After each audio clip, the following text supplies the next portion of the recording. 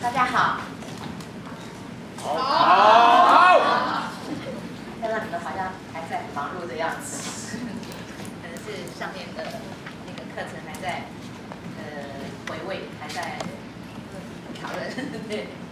那好，那今天呃应多云台今天的邀请来给各位来讲这个采访写作设计课。那我知道六月。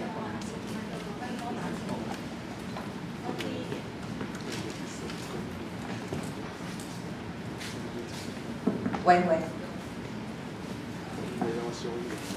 那呃，那个六月二十七号你们已经上过一堂编辑企划课，对不对？好，好，那今天我们的重点呢就会比较放在采访写作这方面。那呃，我很高兴有这个机会能够来跟各位同学来 share，就是说怎么样来呃做好这个采访写作的工作，然后让你们在呃，到营队的时候能够有实际操作的这样的一个呃机会里面，你们就可以呃可以可以把这个引爆，就是那个报会是叫引爆嘛哈，那会让这个引爆能够表现的比较呃呃，我不敢说是绝对的很好，可是相对性会比比以前更进步一点这样子。那呃。那我们就其他的我就都不多说。那因为我在家里做的 slide，那退休的人就没有很多的美工的资源，所以我就利用了我去年世界年会的那个 slide 的头，所以还是二零一二年。不过那是二零一二年底，那我筹备了一个我们世界女记者作家的这个年会，国际的年会在台中召开，所以我就利用了那个我的那个 slide 那个 format 来做今天的这个讲义。所以开头你们打开会看到，那是我们去年开第二十届世界女记者作家，呃的世界年会。那这个世界年会每两年开一次。那我们这一个组织呢是一个女性的组织，不过呃大家都会觉得蛮奇怪的。可是因为它这个组织是从国际发起的，所以我们是后来加入成成立了中华民国分会以后加入。那现在也都加入了二十多年了哈。那呃，我们已经是第二十届。那每两年双年开一次会的话，这个组织已经存在了四十多年，而且我们也是联合国的 NGO 组织下的一个组织。那平常很松散，但是呃一直呃都有在 run 下去，所以我们也很高兴，就说在我们离开职场以后，还有机会来组建这种世界性的年会。那我我有带了一本那个。我们年会完的以后，也可以算是成果报告，也是我们的一个嗯呃女记者、女作家的一个刊物，待会儿也可以给大家传阅哈。那也就是在我们那个活动之后，呃，大家把它编撰成了一本呃好像成果报告。那我们这个当然内容就比较呃复杂，比较广泛。那呃你们银报我初步的了解资料是。一天就是一个 A4 的正反面，所以可能你们的那个里面的内容就是不会像我们这么这么正式这么多。但是不过，我想你们从这个翻传阅以后，可以陆续了解到，就是说当我们在做一个活动的时候，我们是怎么样去报道我们自己的活动。好，那这个我待会儿会留下来，在这边给大家传阅。好，那下一站。那我们就直接切入今天的讲题哈，就是新闻写作。那什么叫新闻写作呢？新闻写作当然是最基本的一个要素，是它先有一个导言，然后再开始从导言延伸到它的内容，主要的内容。那我们现在呢，通常写完稿以后，以前我们的作业会呃送到编辑的手上，送到审稿的手上，然后。经过了预审，稿子通过以后，到编辑手上，编辑会根据他那天的版面再去下标题。可是现在电脑越来越发达以后啊，那电子报、网络报这个很多，所以现在我们的记者也开始要练习，就是说，当你写完一个稿子的时候，自己先下一个标题。那呃，这个东西是为了呃，就是我们直接传输到网络的这个编辑的时候，可以增加它的速度，会快一点，而不像过去的传统就是。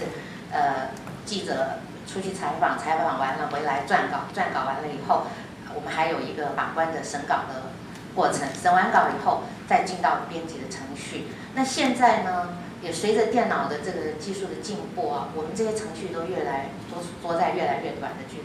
换言之，就是说，一个好的记者如果能够把他的新闻稿在撰写的完成的同时，你就给他赋予一个很有生命的标题的时候，是会增加你的点阅率，好，增加别人去呃吸引到别人来看你这则新闻。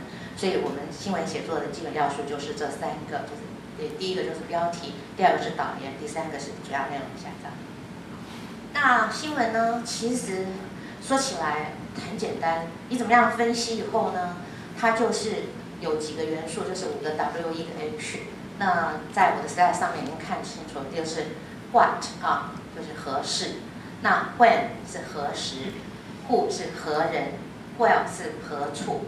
坏是何故，；How 是如何，所以基本上一个新闻稿大约都是会根据这五个 W E H 来构成的。当然，再下一张。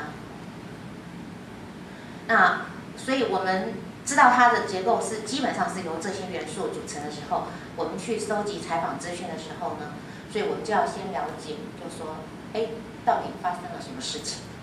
好，那那这个好，那边好，这个在。呃，金华街，呃，月涵堂今天在办一场这个呃公益平台的一个暑假营的一个训练。哎，谁在办这个呢？哦，是公益平台基金会在主办这个，是谁在执行？发生在什么时候呢？呃，就是这个七月初啊，炎炎夏日的七月。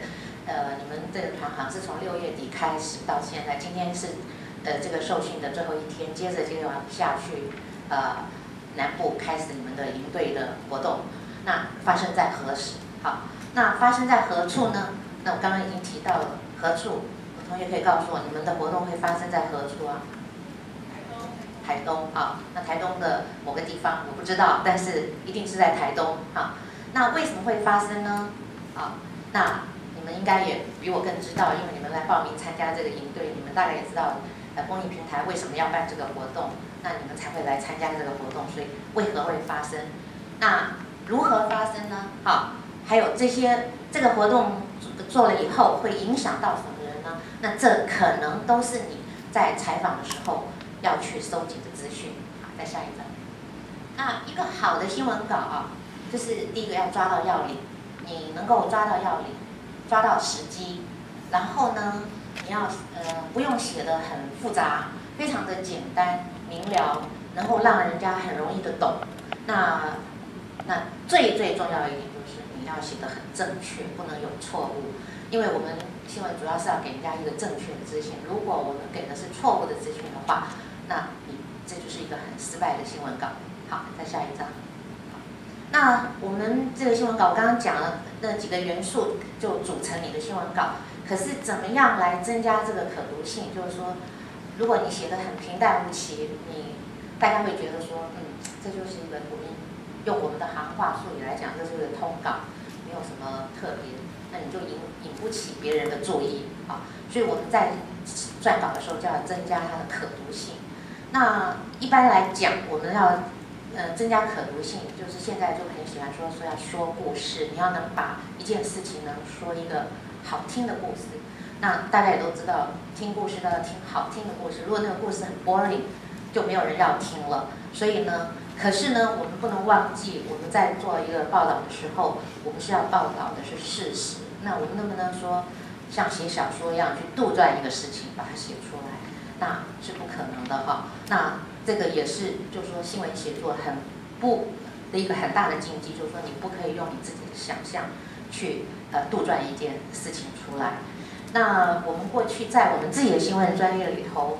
那也有我们的专业的奖啊，普利兹新闻奖啊，什么呃各类的新闻奖，也有记者去营造故事。可是有些事情啊，如果说出来都是非常的稀松平常，那它的可读性就不够了。所以他们就去添增添了一些哦自己写小说能力编造的一些故事在里面，让那个故事变得非常的动人啊，感人好听，还会引起很大的注意。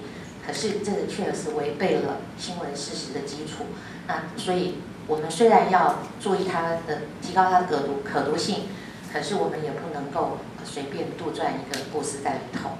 那我我刚刚讲过，这个新闻写作最主主要的五个元素，呃，五个 W E H 的元素呢，它会因为你的写法不同，它的重心位置会呃会有调整，会改变。好，那可是呢，无论如何的第一段的那个导言，导言呢就一定要写的强而有力，最好是一开始就可以把。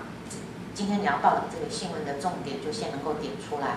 那你如果把它写得很清楚的时候，哎，别人就会说哦，在呃七月呃七月的时候，在台东某个地方会办一个这样的一个活动。那哎，这个有兴趣的人他看到了，他就会继续读下去了。然后这活动详细的办法在哪里？那它的组成是什么？怎么样可以参加或者什么？那这可能是前面报名阶段的时候。我们有说所谓叫做预发稿啊，那就是你要把这些元素放进去，然后才能够吸引那那个来参加这个营队的这个呃小朋友。呃，那还有就是说，那这个重要性呢，铺陈就是说我们最重要的一定是放在前面，因为过去哈在传统的编辑上面就有版面的限制。那我知道你们的银报纸一天一张正反面。那就像你们刚刚我在外头看到你们的带队秘籍，那这个正反加上去，如果再加上标题，再加上图片，那其实你们的内容是很少，呃，就是能够报道给人家知道的，不是不是很多。但是因为它毕竟是一个营队的报纸，所以你怎么样在你营队的活动里面选出那天的重点来做报道就很重要。所以这个重要性怎么判断，我们后面再来讲。但是写新闻稿一定是按照它的重要程序来铺陈，那最重要的在最前面，然后这样类推。那过去在传统的编辑里面呢，是方便那个编辑啊杀稿，就是说当我们在编编编编到一个转弯的地方，必须要结束，那编辑很狠呢，他就咔就把它裁掉了后面。可如果你把最重要的东西写在后面，糟糕了。你今天呈现在版面上给人家的资讯，可能就不是最重要的东西，因为已经被编辑大大刀一砍，已经砍掉了。所以新闻写作的另外一个要诀就是最重要的东西写在最前面，那后面按照重要性摆在后面，让它删。它呃今天版面呃比较多，它也许就给你全部都上去了。那如果今天版面比较有限，它就从后面开始一直杀一直杀。那这是在我们编辑学上的一个一个也是技巧吧，好，那也是一个潜规则。那一个好的新闻记者一定很知道，不要把自己最重要的东西放在最后面，然后第二天登出来再去抱怨说，哎呀，我最重要的那一段怎么都被杀掉了。好，那可是因为呃在呃报纸，我过去都是在平面媒体服务，所以报纸的那个那个组成的阶段是。分秒必争，那个编辑到最后他也没有时间进到那个流程的时候，他也没时间再回来帮你调整稿子。那那现在呢，到了电子报的时代，这个次序更是由自己来调整了。